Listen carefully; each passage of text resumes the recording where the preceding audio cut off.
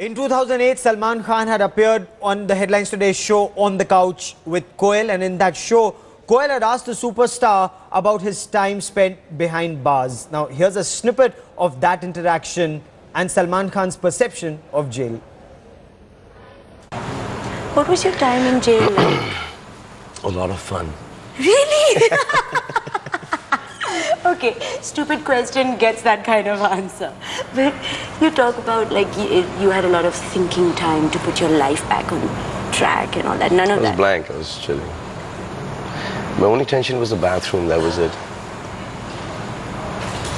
And um, I've been in about three, four times. I've gone in and out, in and out, in and out. So, oh, it's um, well. I mean, if you if, if somebody wants to put you in, uh, you go on quietly. When you know that you haven't done it, you're going with your head high. And did you share it? Like share the space with a lot of people? Yeah, police custody here for the accident thing. Um, yeah. And there were like these nine or twelve rooms. Everybody was, uh, everybody had nine, nine, nine, nine, nine, nine, ten, ten people in one room, and one bathroom, one toilet. So that was. And then uh, the rest of the place, when you go to um, central jail, when you go to uh, judicial custody, you get your own suite there.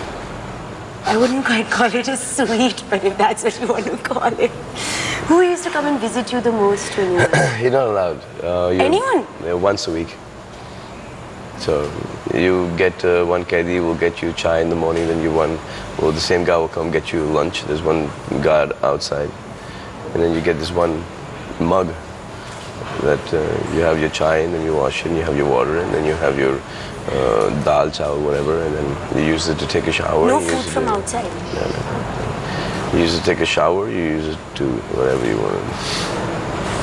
And what happened to your bodybuilding at that time?